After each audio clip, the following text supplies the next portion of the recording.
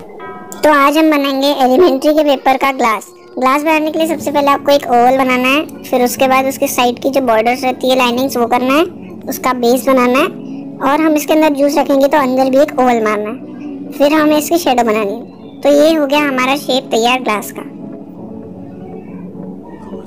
अब हम इसमें कलर करेंगे. तो पहले हम ऑरेंज कलर लेंगे.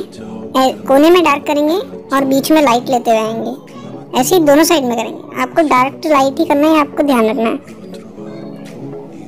एडजस्ट में भी थोड़ा परफेक्ट टाइप का कर लेंगे।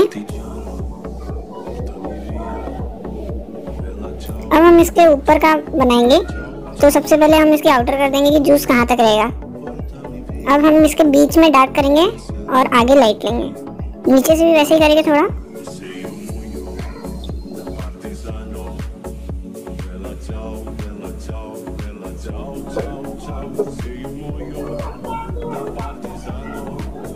अब हम इसका बेस बनाएँगे। बेस में भी वन साइड से हम डार्क करेंगे और बाद में नीचे लाइट कर देंगे।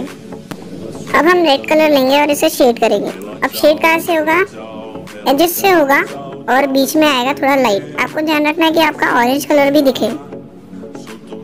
दोनों साइड में वैसे ही करेंगे डार्क करेंगे और लाइट करेंगे।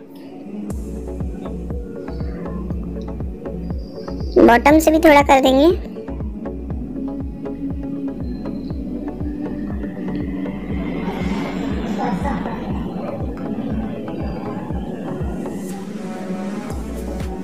अब इसका बीच का जो सर्कल था, उसको थोड़ा सा डार्क करेंगे रेड कलर से।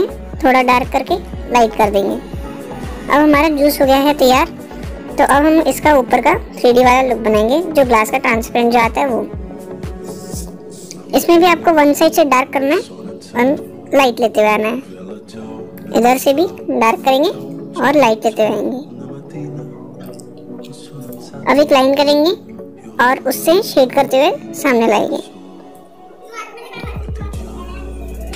इसका ऊपर का जो सर्कल का ग्लास है, वो उसे थोड़ा फिनिश करेंगे।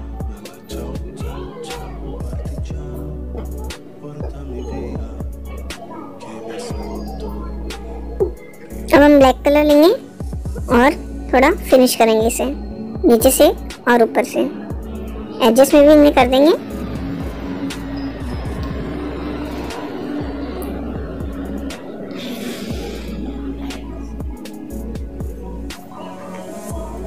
अब हम इसके शेडो बनाएँगे। शेडो बनाएँगे तो पहले होगा डार्क फिर धीरे धीरे आगे जाते हो जाएगा लाइट